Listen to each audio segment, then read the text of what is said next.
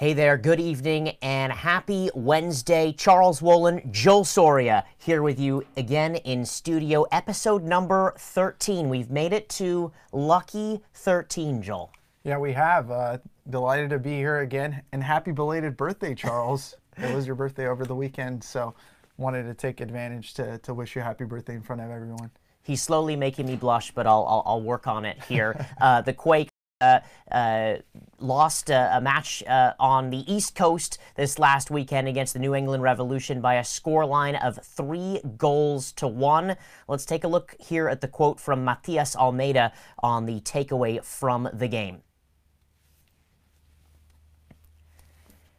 He says it was a match that became complicated in the beginning after they scored from mistakes we made, but we had several opportunities to tie the match and even win if we had converted the chances we created. We controlled the match, but it became difficult when they stayed back and defended well. Our goal came late in a complicated match. So I bring it to you, Joel Soria.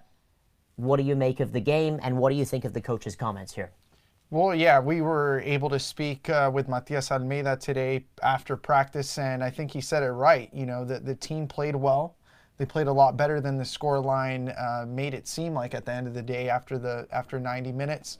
But they were unfortunate, and we go back to a lot of the reasons why the Earthquakes have fell behind in certain games, and that's just lack of concentration in those you know defining moments. Right, the Revs didn't really have the ball. I mean, the possession says it, you know, it's 76% for the Earthquakes, 24 for the Revs. And obviously the Revs were going with, with a, going on with a lot of internal turmoil, right? You know, the the sacking of Brad Friedel and then at that time obviously they already had Bruce Arena lined up to take over but during that time the players had you know the ability the refs players had the ability to showcase their skills you know, to to live another day, to to breathe in, you know, fresh air. Right. And that really benefited them, right? They were they were able to to play to their advantages. They they weren't really pressing on the Quakes. They weren't taking on and, and trying to trying to minimize the Quakes the way that other teams did it. And they took advantage of, of the few, few, very few uh, situations that they created for themselves. And at the end of the day, the Quakes just weren't potent enough in the attack. And uh, you know, it's it's three points that are, might come back and haunt the Quakes uh, later on. Yeah, and, uh, somewhat of an easier three points for this Quakes side, who, who were riding on a high, uh, a bit of an unbeaten run there, and, and five out of the six, and the unbeaten run, I think it was four uh, unbeaten in, in it, and almost for a whole month there uh, as well. You know, they're going to encounter some teams that will sit back uh, and try to play on the counter attack as well. Speaking with our colleague Robert Jonas, he, he said, you know, New England basically didn't have a plan. They just kind of bunkered in and, and sat in, which which they did, and and they took their chances. You know, when when they came to to them, um, you know, in, in that game um, you know, at, at, the same time. And, and, and you know, this is going to happen in, in, this league, and it's it's it's unique because of Matias Almeyda's style of attacking and possessing with the football and being the protagonist, as he says that he's going to do. Um, somewhat of a mixed bag because at the same time you can dominate possession, you can create lots of chances. The manager can give the quote that we just read, which is which is good. But again, yes, it is three points kind of down the tube there. Right, exactly. And I, I think uh, the biggest alarm here was the fact that the Quakes weren't really able to generate any clear attacking opportunities despite holding on to, uh, you know, that a lot of that possession, right? They weren't really able to utilize Danny Hoesen all that much. And he's been, he's been a bit absent in the last couple of games as well and you know they aren't playing with Cristian Espinoza though, and I think you know that that is kind of the you know the red flag here is that without him, they aren't really able to create. They're a completely different team. Today, a colleague of ours asked Matias Almeyda if there's some sort of dependency, you know, with the earthquakes and Cristian Espinoza that without Cristian Espinoza, this team really isn't able to flourish. And Almeyda wasn't hesitant uh, to, to contradict that notion, right? He does know that a lot of this team's attack is effective solely because of Espinoza. He's a player that the Quakes just don't have in the bench, right? He's a player that is really, really hard to replace. And without him, as we saw on Saturday, it's going to be tough for, for the Quakes to counter teams who sit back and play, you know, two blocks of four. Yeah, I mean, I mean that that is one negative. Obviously, the dependency factor, and we're going to have to monitor this dependency factor because you and I have chatted so much about Espinoza and how dynamic he's been for this team, and how much he's impressed us. Uh, you know, with the pedigree that he that he has and the experience that he has playing in South America, playing in Spain, now coming to, to North America and playing in Major League Soccer. I mean, it, it seems like he is getting his footing with this team, and so you know, every single step of the way, he's been one of those consistent guys that we've always chatted about him and Daniel Vega. Um, you know, he's in that top three category of most consistent players and usually first on the team sheet, right? Um, a, a, couple of positives and takeaways from from uh, this match, though. Uh, Calvillo started. Um, Siad Haji had his had his debut, which is which is awesome. Uh, you know, he, he played in college soccer as well. Um, and so, you know, nice to see a college soccer kid uh, get uh, in the Quakes side, um, you know, as well um, at the same time. Yeah, absolutely. It was. I, I thought it was a, a pretty decent, you know, uh, debut for for Haji. Had been, you know, playing with Reno for a bit, and then training with the team, and finally he was called up due to largely due to Espinoza's absent. Same reason why Calvillo was able to start the game in a more a, of a of a right midfielder, which isn't really his position. You know, he's he's a, a, an, an eight, you know, kind of a box to box midfielder. But they were both able to bear fruit from the Argentines' absence, and I think that Haji definitely took advantage of that. And I, I wouldn't be surprised, you know, if we see him a little bit more with this side during the, the U.S. Open Cup run that, you know, eventually the Quakes will be a part of in the fourth round. Yeah, we'll get to U.S. Open Cup in, in a little bit. Uh, let's talk about Vako because Vako seems to be a huge talking point.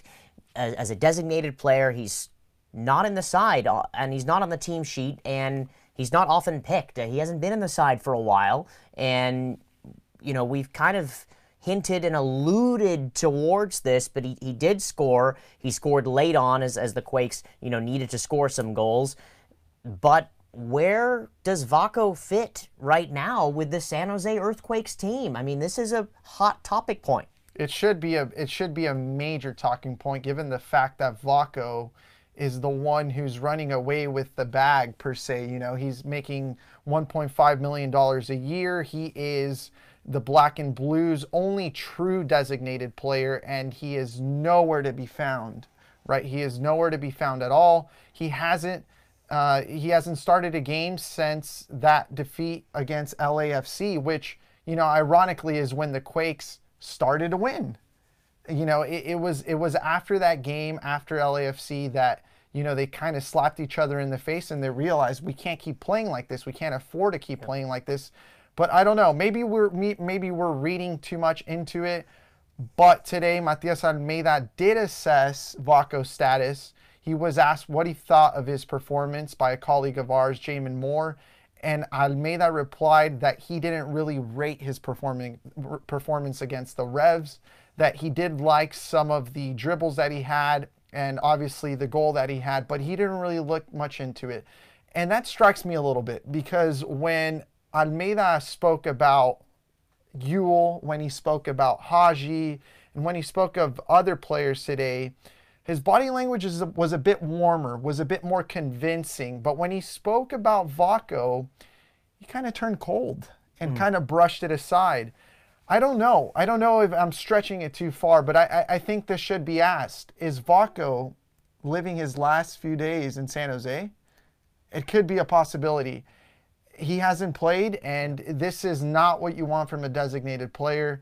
And, you know, needless to say, Vako has never been the type of player who has really identified, you know, with the team that he's played for. Reason why he's been bouncing from team to team, and reason why he was never really able to make this connection with San Jose. I wouldn't be surprised if Vako was, in fact, you know, uh, experiencing his last couple of, of games with the Quakes and could probably be shipped in during the summer. I, I do know firsthand that over the winter he had a couple of different offers from Israeli clubs, big Israeli clubs who you know could potentially creep into Europa League or a Champions League. Now I, I I, just we're just gonna have to wait and see what's gonna happen. But you know, this definitely should be talked about because, like I said, Vako is just a player that hugely, hugely influences the economical part of the San Jose Earthquakes. And it's really interesting because we started off this season chatting about Vako and the attacking prowess that he has and the creativity that he has and the way that he can change games and the fact that he was one of the best attacking players, not knowing a lot of total information about how Cristian Espinoza was going to play, or not knowing totally how this manager was going to set up his side. But it's slowly looking like, Joel, every single week, that Vako is becoming the fall guy, basically, and slowly being pushed out by this manager. And I, and I think you're right. I do think that his days in San Jose are numbered. I've always liked Vako. I think Vako, you know, has shown flashes of brilliance, but he hasn't done it consistently week in and week out for the San Jose Earthquakes. And you know, I I I think the fans are looking for someone to be the fall guy, and he's currently fitting into that mode, especially with you know some reports of his attitude as well, and and showing that he might not care as much as the other players, uh, you know, either. So. Uh, I think it's something to, to keep our eye upon and something to, to mark for the rest of the next coming weeks, and I'm sure we'll we'll bring it up. But let's move on to a huge positive note for the San Jose Earthquakes. Jackson Yueill, who is absolutely performing wonderfully for this team. His IQ off the charts. Lots of things to chat about with him, and Matias Almeyda has some very interesting comments and a quote to say about him as well. Almeyda said, I think he's one of the players with the brightest futures in this league, especially being born in the United States. I like his personality a lot. In terms of soccer, he is very complete, and I see a big European future for him. He's a player that trains very well, and when he plays in games, he plays the same way he trains. He plays well in training sessions, friendly matches, and in easy and difficult matches. He always plays with the same effort, and it shows that he is a national team player. Those were the words from Matias Almeyda, full of praise for Jackson Yueill, a player who was able to sneak into the U.S. men's national team under 23, potentially a cog for that Olympic team in a year's time. And now, you know, from other pundits around the league, from well known analysts, could he potentially be called up for Berhalter's Gold Cup roster? I think. Um, you know, this is a player, like I mentioned to you, who is, you know, grabbing a lot of attention, making headlines subtly, right? Not aggressively, but subtly. He's he's squeezing his way in there, and I think deservingly so. He's been able to, you know, really, really dictate the pace of the game in the heart of the field. He's been able to be that box to box player that Matias was dreaming of, and he thought he had under Anibal Godoy and Aniga and, and sorry, in Godoy but once Judson was, you know, sidelined due to an injury, he slots in, he pushes Godoy back, and then he slots in Jackson Yueill, and he's he's done it magnificent, magnificently. I think we've talked about Jackson Yueill a fair amount of times in here, and like I said, I, I don't think he's a revolutionary player, and I, and I will I will back that you know to my last day, but. But the thing is, is that he does the small things right, right? Mm-hmm. He's he's a player with with great, great, you know, um, fundamentals. You know, he's a player that doesn't overcomplicate things. He has a beautiful, beautiful diagonal ball. He has great vision. He has, you know, great soccer IQ that you can't, you know, you can't teach. And these are the reasons why I believe Almeyda really sees a future for Jackson Yueill, not only in our country and in our league, but abroad in Europe, you know, in the highest realms of soccer, Almeyda, who's done it in that same scenario, believes that Jackson is going to be there one day. Yeah, Jackson is a complete player. He can play in any of the three midfield positions. We actually haven't seen too much of him as an attacking out and out number 10, but when you play with two sixes, such as Judson and Anibal Godoy, you have the freedom to have a box to box player like Jackson that can do the running, and and be able to attack. And in my my you know mind of things, I, I see the midfield three with those three guys being the fulcrum of it. To be fair with you, and I don't think that we've seen even the best of Jackson Yueill. To be fair, I, I think we're just hitting the tip of the iceberg when it comes to, to Jackson Yueill. His IQ, when it comes to being on the field, is off the charts. He reminds me of a young Frank Lampard, box to box. The goals aren't there just yet, but the assists and the way that he reads the game, the way that he's able to dictate in the engine room in central midfield, is very Lampard esque. It's not too brilliant, it's not too flashy, but it's, again, everything right. He does everything right and uh, you know, and he has the mentality as well kudos to him. Yeah, yeah, he has the mentality, and Almeyda elaborated that uh, to us. You know, the fact that he sat him down and he talked to him, you know, one on one, and you know, obviously not verbatim, but what I'm trying to paraphrase here is what Almeyda told us that he told him, which was, look, you have a spot within the team.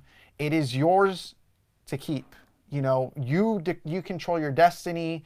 You control how consistent you want to be. And I think Jackson is the type of player, you know, who is going to take advantage of that. He knows that Almeyda is on his side now. He knows that his spot is sealed. It's there for him to take advantage of. And the one thing that a lot of people probably question uh, about Jackson Yueill coming into this league from UCLA was his physicality, was his build. Was he able to consistently do this in MLS? And he's got it down. I mean, the guy's put probably 10 pounds of muscle, you know, over the off season. Uh, you know, he's been able to run up and down the field with ease. Again, not only a position, but you know, a position within a system that requires a lot of physical, uh, you know, hardships. So he's been able to get that down. Like you said, maybe he needs to take a couple more cracks at goal but he, he, you know, he does also have a really wicked right foot that at any time can catch any goal goalie, uh, you know, out of concentration. So you know that that possibility is there as well. And I don't see why Jackson, in a year or two, you know, shouldn't be in in Europe. Yeah, I mean, it's a very interesting comment from this manager, too. And you and I were just speaking before we went on air about how this manager has never really made a comment like that about one of their players. And this is an American player as well, and let's be cautious. I think we're, you know, we're in an interesting time period when it comes to Americans in Europe. I think in previous times we've been in a position of, oh my gosh, well, you know, this guy's the next best thing, or don't don't talk too much, don't ruin their stock, you know, this kind of thing. But I think now it's safe to say, with a manager that puts that backing behind this player, why not? And you know, from Matias Almeyda's perspective, I think it really lights a fire within Jackson to be able to perform week in, week out, whether it's as a holding midfielder, whether it's a box to box role, or it's right underneath the striker in the number 10 spot. Yeah, well, with all due respect, you know, it's it's not Dominic Kinnear saying this about Jackson Yueill. Right. It's not Mikael Stahre saying this about Yueill. It's Matias Almeida, El Pelado. He's lived soccer every day of his life, it seems. And he's been at the highest, you know, most prestigious stages, the Champions League. He's played for Inter. He's, you know, he's been in Spain. He's been with the Argentine national team. He's been at two World Cups. And as a coach, he's achieved great success as well. While developing players. While developing players. He knows the path. He knows what it was like. He's been there as a player and as a coach. So, you know, obviously the words that come from him should mean a lot to Yueill. Yeah, and the Quakes uh, take on Chicago coming up this weekend. A couple of absentees, though, on the Chicago end, though, Joel. Yes, uh, no Raheem Edwards, it sounds like, and certainly no Nico Gaitan, who won Player of the Week last week, has been really turning things up for Chicago Fire, but they still have a couple of pieces. You know, they have Dax McCarty and they have Bastian Schweinsteiger obviously pulling strings, and then up top they have uh, Frankowski, they have Katai, they have Nikolic, who won, you know, the Golden Boot a couple seasons ago. So the Chicago Fire, you know, with or without Gaitan, are still going to pose as a tough task for the Quakes. Now, the Quakes are going to have to come back home to Avaya, and they're going to have to, you know, keep that Avaya Castle run going on. It's been three matches in a row that the Quakes have, you know, gained positive points from at, in San Jose. So it's it's going to be a tough task, but you know, let's let's see what happens. Yeah, 12:30 p.m. kickoff on Saturday, May 18th. That's kind of a little bit of an earlier kickoff for this side. The last time they had a kind of a kickoff time like that was against LAFC, so hopefully we'll see if this Avaya Castle can continue. But as we talk about it, and we'll talk about it, and I'll say it every single time on this show, you got to pick up points at home. And when you're on the road, ties are fine, a couple wins are good, losses are going to happen. But when you're at home, when you're in front of the home fans, when you're at Avaya Stadium, things are looking up, and they have to be because you got to put on a show for your home fans. And for you, the fans, I think things at home have been okay. Uh, just a note for you guys as we continue on with this show keep your questions coming along. We've got a couple of questions in here already, but we want to keep your questions kind of coming along. Uh, I'm going to take this first question here from Jeff Vikos. He says, Any idea what may have been Almeyda's idea on the Calvillo experiment at right mid? When do you expect to see Lopez either at left back or on the wing next? Yes, so like I mentioned uh, just earlier, he was in a way forced to start Calvillo, you know, at a right mid position. He he has liked what he's seen from Calvillo. He said that after the match against uh, Rayados, you know, that he was really impressed with Calvillo. And he also did say that he expects Calvillo, like Haji, to be integral pieces, you know, of, of this Quake side in, in the coming years to come. Now, the thing with Lopez is is a little is a little gloomier, right? We don't really. Yeah. I asked about his progress because he did um, come up with an injury, I believe, in in his right knee, and he said that you know it's it's going to take time. I, I don't know if he's going to be able to play against the Chicago Fire, but I did also mention to him that is it is it possible for the Quakes fans to, you know, start giving up on this player? Is it time to be worried about the progress that the Peruvian has not had in San Jose? And he said that he needs time. Lopez needs time to adapt to the league. He needs time to assimilate to the country, to the language, to the style uh, of play here in the States, and that he, he surely believes that in time, Lopez will be able to, to be a breakout player in this league. Yeah, I, I, I think so too. I, I've liked what I've seen from Lopez. Uh, unfortunately, he's definitely hit a bit of a bump here in the tracks. I think it's been injury and then a little bit of the discipline with the red card kind of uh, hit him a little bit early. And I think that that's turbulent for a player that's just come into the side. Again, you and I were really raving about him when he first started, and I think that that can really hurt the stock of a player, especially when they come into the side, their first choice left back, and then all of a sudden there's a little injury bug here and there, and they're not fully fit again and then you pick up a red card it's it's tough it's challenging but i will say lopez is is a modern left back. He likes to get up and down down the lines, and he's extremely comfortable with the ball at his feet. This side right. plays with the ball at their feet, and they're asked to dribble out of the back. It's not like the old days anymore where you're an old center back and you just clear the ball out, yeah. or you're a left or right back and you just clear the ball out. Modern football, folks, is dribbling out of the back and being comfortable with the ball out of the back and almost getting into your opponent's half in that fashion. So I think Lopez, I'm going to give him a little bit of a break, and I hope he sorts it out, figures it out, because, you know, Matias Almeyda really wanted him. Yeah, absolutely. I mean, they went out all the way to Peru to, to sign, you know, to sign him to a deal. But I think the problem with Lopez is the fact that he wanted to hit the ground running and he really wanted to make a statement for himself when he joined the Quakes and when he got that first start at the start of the season. You know, the first game he was he was solid, and then after that he started to get a little too daring, right? Going into some meaningless challenges, you know, trying to really just explode on that left flank. Keep in mind though, he, this is a player who's you know who's a bit versatile. He he played as a left back for Sporting Cristal, and then he was able to move up to the left wing as well, which is a position that he hasn't played for uh, here in San Jose. But I think you know we, we could get caught up and say, you know, maybe it's time to panic. This player isn't going to work out.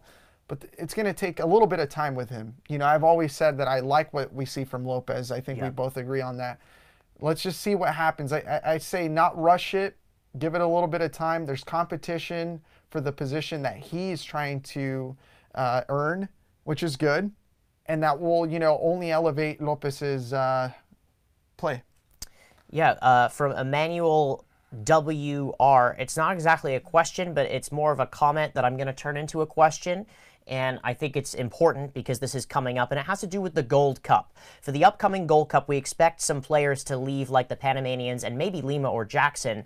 Hopefully, we get some plays and play our existing players like Felipe. So, um, where does the Gold Cup kind of hit this team? It's going to hit kind of deep, uh, you know, in many ways. You know, with with plenty of starters and you know some players that are really kind of coming into the side and impressing this coach.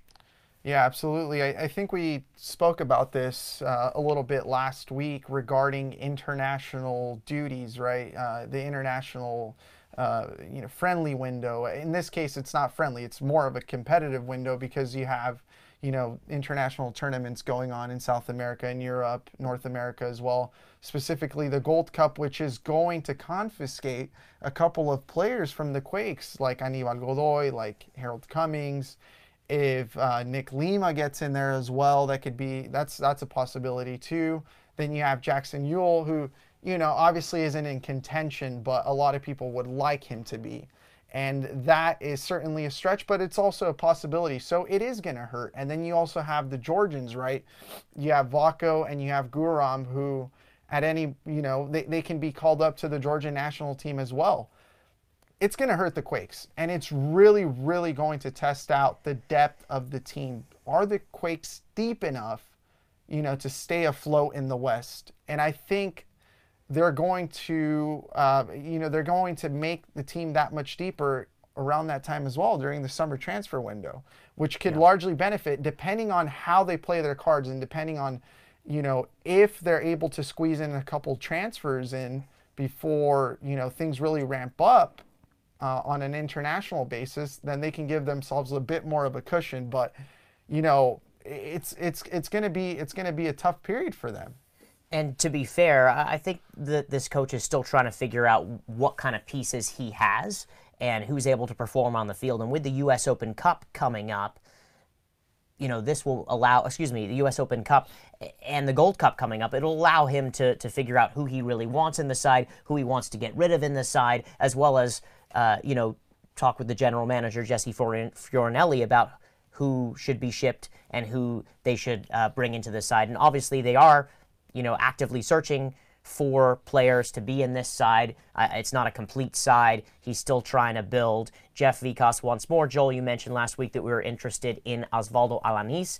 Any other players of interest or positions we may be targeting in the summer? Um, as of this moment, I have yet to hear about any other player. Um, but I wouldn't be surprised if a couple of other names came up in the coming weeks. I do know from experience that you know, Jesse and Co do a very, very extensive search of, you know, the players and the positions that they want to fill. It's it's gonna take a little bit of time though. You know, where the the primary window just closed, and here we have this gap where, like I said, the the Quakes management is going to be working night and day, maybe making a couple flights, you know, maybe making a couple phone calls in order to find you know the players that the team wants, but it's going to be a bit easier than other times. It's it's going to be a little more rudimentary, given the fact that they have a person within the locker room that certainly is calling most of the shots, and that's Almeyda himself. He's the one who's pulling the strings. When before it was a little bit more on uh, Jesse's plate, he was the one who really reached out. He's the one who who made the final call and it wasn't so much that he was, you know, listening to his managers on what players um, were wanted to bring in, and now now it's Almeyda you know, singling out couple of players like he did with Osvaldo Alanis. He's he's certain that he wants to bring them, and that is going to be a bit a bit of a of a struggle there because from reports uh, all over Mexico, it it sounds like Alanis might be headed to Chivas as well. So I'm sure the Quakes and Chivas are going to go at it for Alanis there. Yeah, uh, keep your comments and questions uh, coming along here. We'll get to maybe one or two of them. Just wanted to touch on the second round of the U.S. Open Cup. We had El Farolito uh, that beat Joel's team last week, Academica, host Fresno FC of USL Championship.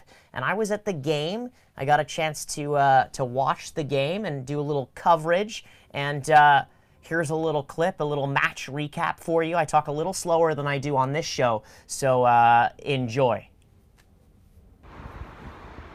a windy and blustery afternoon here in the second round of the U.S. Open Cup at Boxer Stadium as El Farolito hosted Fresno FC. A scoreless first half. It was quite tepid and a little bit of a pedestrian pace, if you will, to this game. And in the second half, things definitely picked up couple of yellow cards here and there, some half chances, but the tie was eventually settled in the 74th minute by Cutis Lawal, who scored a goal after a bit of a mix-up from a throw-in from a bunch of Farolito players. Farolito, the home side, pushed and pushed, hummed and purred, tried to get themselves going in the end of the second half. Four minutes of stoppage time. They just didn't quit. But at the end of full time, it was Fresno FC 1, El Farolito nil. Fresno FC will be moving on to the next round of the U.S. Open Cup. So there you go. We have Fresno FC advancing to the next round. They'll play Sacramento or Reno in two weeks' time in the third round. And just a heads up, the fourth round is when Major League Soccer clubs come into the fold. If you're curious about the U.S. Open Cup, it'll be in the first or second uh, week of June uh, with those fixtures. But a, but a nice day for local football and uh, two you know Northern California teams uh, uh, going at it. Our final question comes from our brethren the Fin Factor, and uh, they write, "Looking dapper, fellas. Have thank we seen the end of Wando? Yes, thank you. Does he have a chance to break the record, or are we moving on from that?" Flashpoint question, Joel Soria. I don't think we've seen the end of Chris Wondolowski. Um, at least not in this season. I, I don't think so. There's 20 games to be played, or roughly around 20 games to be played. We have the summer period, as we just talked about that is going to really, really limit the amounts of players within the team. And I think that's that that would be the ideal time to see Chris Wondolowski, you know, probably, you know, get back into the mix. Yes, you are going to have Danny Hoesen still, but I think Almeyda will find a way to tinker him in. And then not just that, you know, injuries can happen in soccer as well. And, you, you know, Chris, um, continues to be the fighting spirit of the team. I, am I'm, I'm still true, you know, thoroughly convinced uh, about that.